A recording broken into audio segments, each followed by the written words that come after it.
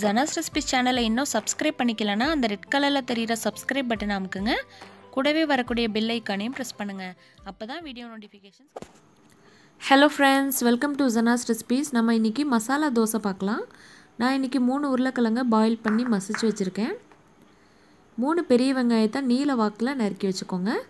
மூணு பச்சை மிளகா மூணு தக்காளியை கட் பண்ணி வச்சுக்கோங்க. கொஞ்சமாக கொத்தமல்லி தலை இதை வச்சு எப்படி செய்யலான்னு பார்க்கலாம்.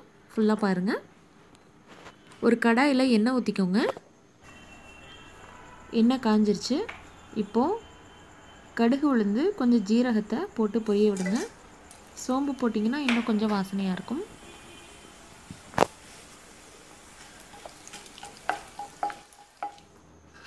நறுக்கி வச்சுருக்க நாலு பெரிய வெங்காயத்தை சேர்த்துருங்க. நல்லா வதக்கி விடுங்க. கோல்டன் ப்ரௌன் ஆகிற வரைக்கும் வதக்குங்க. ஓரளவுக்கு வெங்காயம் வதங்கிருச்சு. இப்போது கட் பண்ணி வச்சுருக்க பச்சை மிளகாவை சேர்த்துருங்க. பச்சை மிளகா சேர்த்திங்கன்னா நல்ல ஒரு ஃப்ளேவராக இருக்கும். அதுக்கப்புறமா தக்காளியை சேர்த்துருங்க. தக்காளி வந்து ரொம்ப வதங்க வேண்டாம். வெங்காயம் வதங்குற அளவுக்கு தக்காளியை வதக்காதீங்க. அது வந்து க்ரன்ச்சியாக கடிப்பட்டால் நல்லாயிருக்கும் ஒரு டேபிள் ஸ்பூன் இஞ்சி பூண்டு பேஸ்ட்டை சேர்த்துட்டு பச்சை வாசனை போகிற அளவுக்கு கிண்டி விட்டுடலாம்.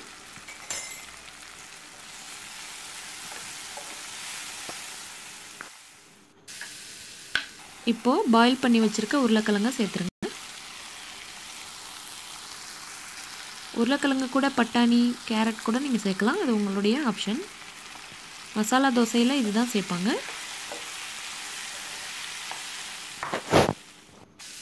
இந்த மசாலாவுக்கு தேவையான சால்ட்டு ஆட் பண்ணிடுங்க அதுக்கப்புறமா ஒரு பிஞ்ச் கொஞ்சமாக மஞ்சள் தூள். உங்களுக்கு விருப்பம் இருந்துச்சுன்னா கொஞ்சமாக மிளகாத்தூள் கூட ஆட் பண்ணிக்கோங்க. பச்சை மிளகாவுடைய காரமே போதும் அப்படின்னா வேண்டாம். லைட்டாக ஒரு கால் கிளாஸ் தண்ணி ஊற்றி நல்லா மசிச்சு விட்டு கொதிக்க விடுங்க. அதுக்கப்புறம் கொத்தமல்லியை தூவி ஆஃப் பண்ணிடுங்க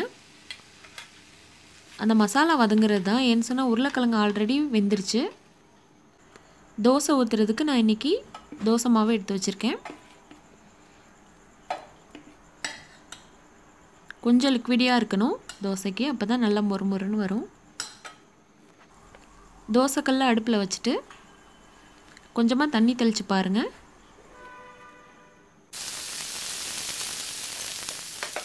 தோசைக்கல் வந்து எப்போவுமே வந்து மீடியம் ஹையில் தான் இருக்கணும். இப்போது தோசையை ஊற்றிடுங்க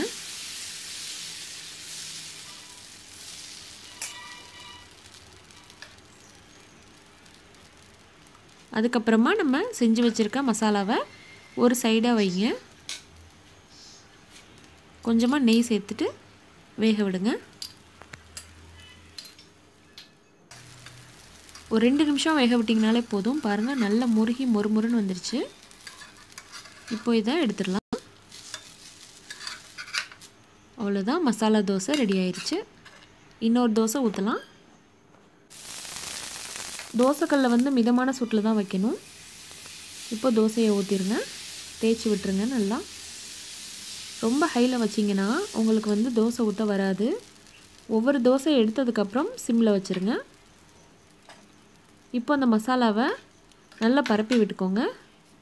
இதை ஃபுல்லாக பரப்பி விட்டுக்கலாம் அல்லது ஒரு சைடு வைக்கலாம் நம்மளுடைய இஷ்டத்தை பொறுத்து வச்சுக்கலாம். கொஞ்சமாக நெய் சேர்த்துட்டு வேக விட்டுருங்க. ஒரு தேர்ட்டி டு ஃபார்ட்டி செகண்ட்ஸில் வெந்துடும் அப்படியே திருப்பி போடுங்க அவ்வளோதான் மசாலா தோசை தயாராகிடுச்சு இதுக்கு வந்து சட்னி சாம்பார் எதுவுமே தேவையில்லை. அந்த உருளைக்கிழங்க வச்சே நம்ம சாப்பிடலாம். ரொம்ப டேஸ்ட்டாக இருக்கும். மசாலா தோசை ரெடி ஆயிடுச்சுங்க இதே போல் நீங்களும் ட்ரை பண்ணுங்கள் மசாலா தோசைக்கு சட்னி சாம்பார் குருமா எதுவுமே தேவைப்படாது. இதே போல் நீங்களும் செஞ்சுட்டு கமெண்ட்ஸை சொல்லுங்கள் இந்த வீடியோ பார்த்ததுக்கு ரொம்ப நன்றி. தேங்க்யூ தேங்க்ஸ் ஃபார் வாட்சிங்